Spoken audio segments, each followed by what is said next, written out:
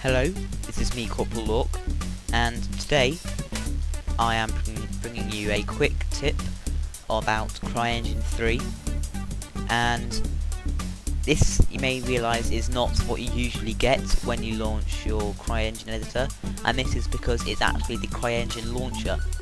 Now there, I've been noticing, as I've been getting through some of my own levels, that I want to play the game in pure game mode, so it's just how you would get the game but there are quite a few bugs with uh, the launches at the moment. So, as you'll now see overlaying, um, what you have is you had your um, directory where you've installed or where you've unpacked your CryEngine 3 SDK, and at the moment I'm using the 64-bit editor.exe.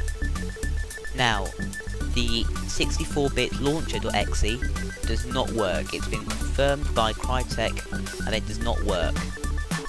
So don't use that, you'll just get a side-by-side -side error.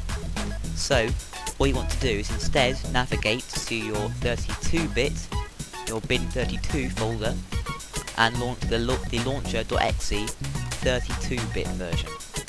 So once you've launched that, you'll get what I have here, hopefully, and here comes the next bit that is an error.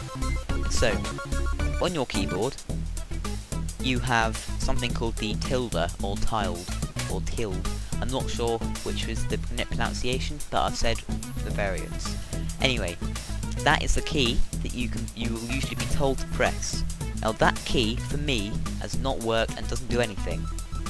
So, what I had, what I did was I went along through the whole of my keyboard and I've got a standard QWERTY keyboard with their numpad and I've hit all the keys and the only key that's worked is the key uh, up in the top left corner and, and on my standard QWERTY keyboard it is above tab um, it's to the left of the one exclamation mark key and it's below ESC so that's the only button that's worked. If I press the other keys, the editor starts crashing, the launcher even starts crashing. So I'm now going to press this key, I'll put a picture up for it.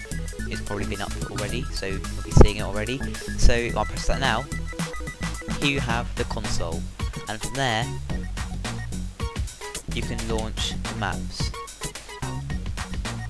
So there, just example, here I am, you can launch the map for example the custom map that you've made or as I'm doing here the map that Crytek make. So there you are.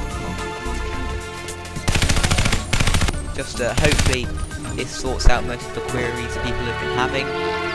Um, just going to exit now. Hopefully that sorts them out. Um, music is still playing in the background. I'm not sure why. I think that's a. I think that's a bit of a bug, but anyway.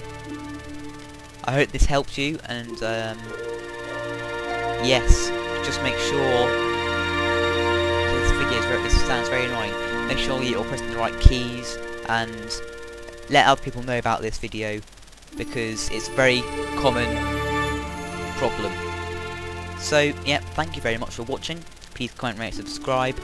Watch my other CryEngine tutorials, and thank you and goodbye.